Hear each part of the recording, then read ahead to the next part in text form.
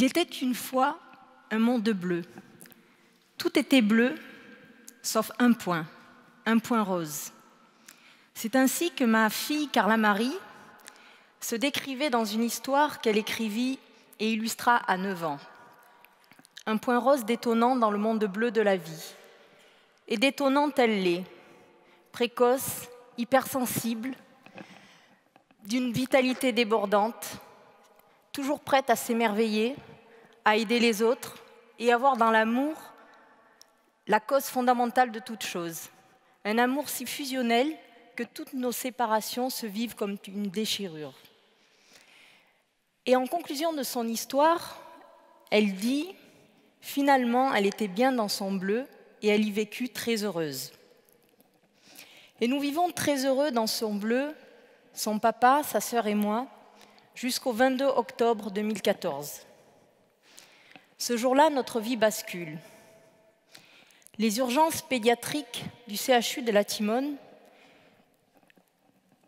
décèlent une lésion du tronc cérébral sur l'IRM qu'ils ont pratiqué sur Carla Marie. Ils nous annoncent qu'on doit passer la nuit pour faire des examens complémentaires.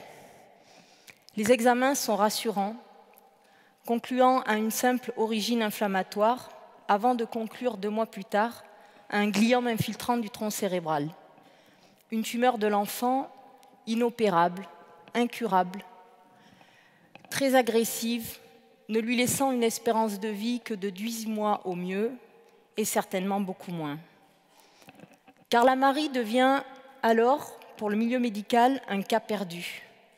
Un cas tellement difficile à vivre que tout le monde aimerait déjà l'oublier comme un échec.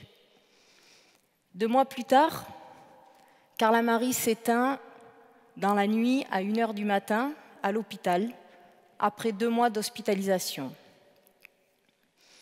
Un quart d'heure après son dernier souffle, le médecin de garde vient constater le décès sans un mot, sans un regard. Et on nous demande si on a prévu la tenue. Je ne comprends pas ces mots. Quelle tenue aurais-je dû prévoir? Les parents ne prévoient jamais la mort de leur enfant. Jusqu'au dernier souffle, ils espèrent le miracle. Alors on l'habille de mes vêtements, et puis on nous annonce que les brancardiers vont venir la chercher pour la conduire au funérarium, où nous devrons attendre huit heures pour la revoir ensuite. On reste un moment immobile, incrédule, avec son papa dans la chambre, après que les brancardiers l'aient emmené sur leur chariot. Puis la porte s'ouvre et on nous demande un peu gêné et poliment de combien de temps on a besoin pour rassembler nos affaires avant l'équipe de relève de 5 heures pour refaire la chambre. Alors on quitte la chambre, on regarde une dernière fois le nom écrit sur la porte au feutre Véleda, et on attend dehors sur un banc l'ouverture du funérarium. Alors, à la souffrance indicible de la perte de notre fille s'ajoute un sentiment d'abandon. Notre fille n'a manqué de rien d'un point de vue médical.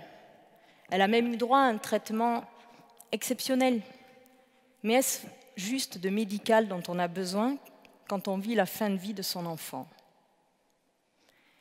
L'hôpital n'est pas un lieu fait pour mourir, pour personne, et encore moins pour un enfant. Il existe un décalage entre ce qui se joue pour des parents et pour le personnel soignant.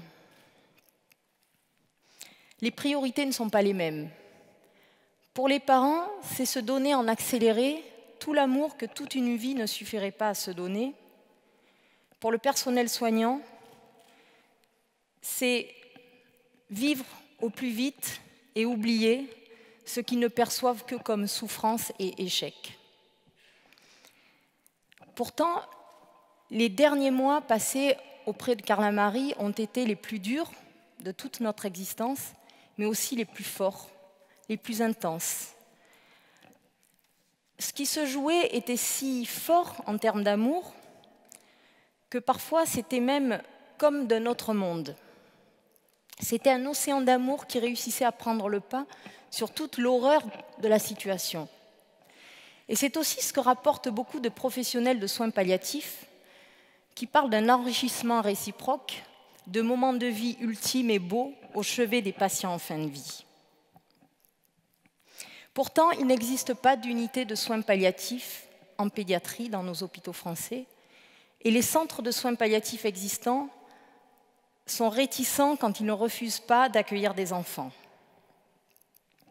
Il n'existe pas d'accompagnement des familles vivant ces épreuves, ni de soutien au personnel soignant tout aussi durement éprouvé.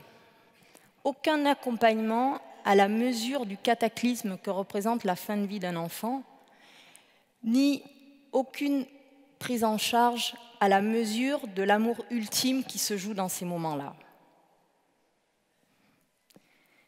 Pourtant, un enfant décède tous les jours du cancer en France et on compte plus de 4000 décès par an d'enfants. Ce que l'on se représente comme la chose la plus inconcevable, la perte la plus inconcevable, frappe donc 4000 familles par an. Alors pourquoi nous ne, les accompagnons pas mieux?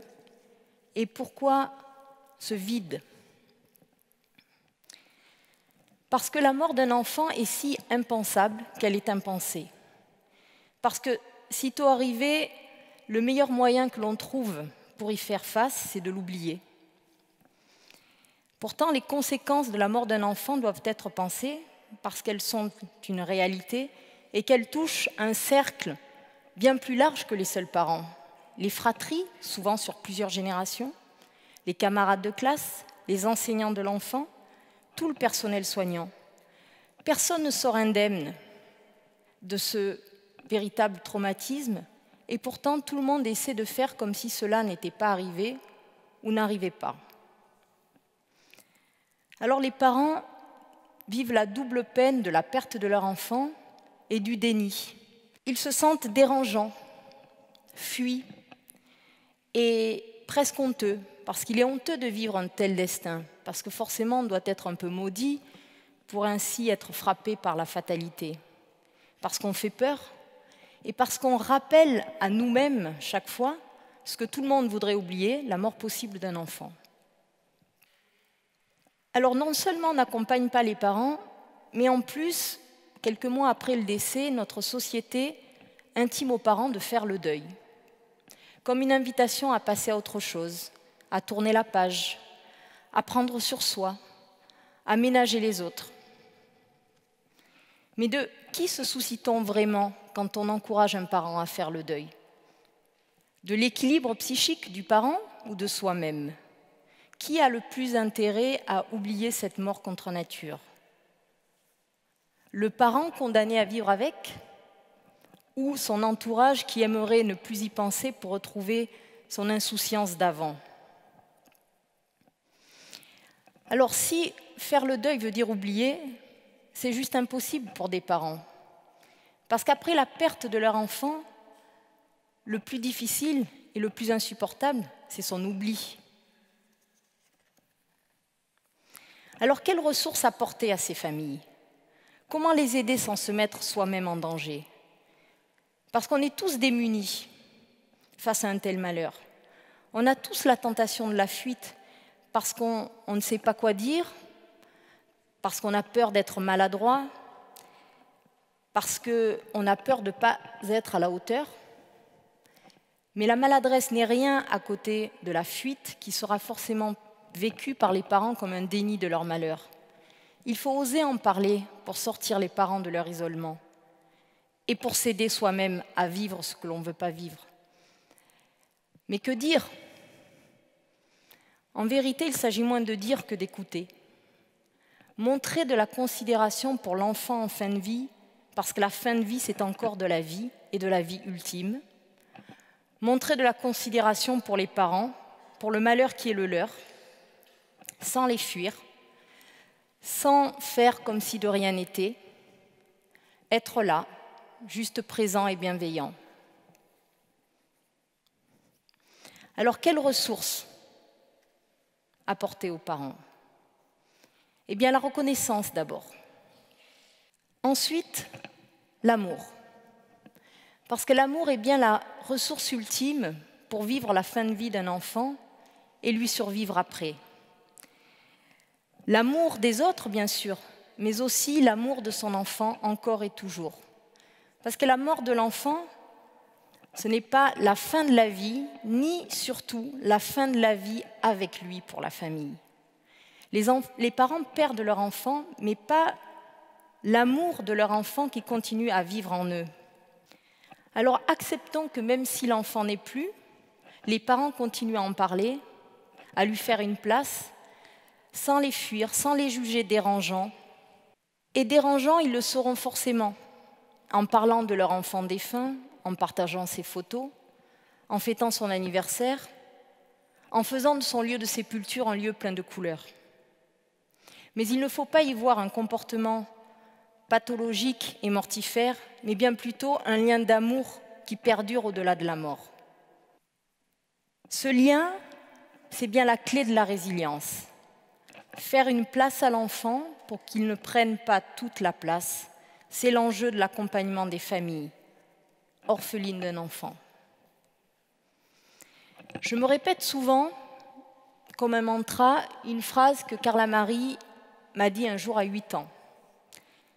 Elle m'a dit Maman, derrière chaque malheur se cache un petit bonheur. Eh bien, derrière le grand malheur de la perte d'un enfant se cache ce petit bonheur de l'amour plus fort que la mort. Un jour, quelqu'un m'a dit que mon histoire lui donnait décupler son envie de vivre et partager. Eh bien, c'est ce à quoi l'on s'expose en s'ouvrant à nous, parents, orphelin d'un enfant. Non pas parce que notre malheur vous aidera à vous sentir chanceux de votre propre bonheur ou absence de malheur, mais parce que vous puiserez dans notre vécu de ce malheur l'immense espoir d'un amour plus fort que la mort. Six mois après le décès de Carla Marie, nous avons créé l'association Le Point Rose.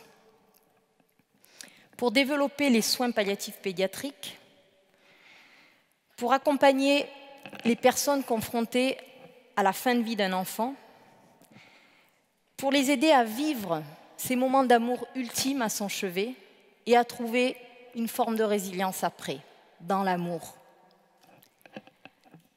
Un point rose pour trouver les petits bonheurs derrière le grand malheur.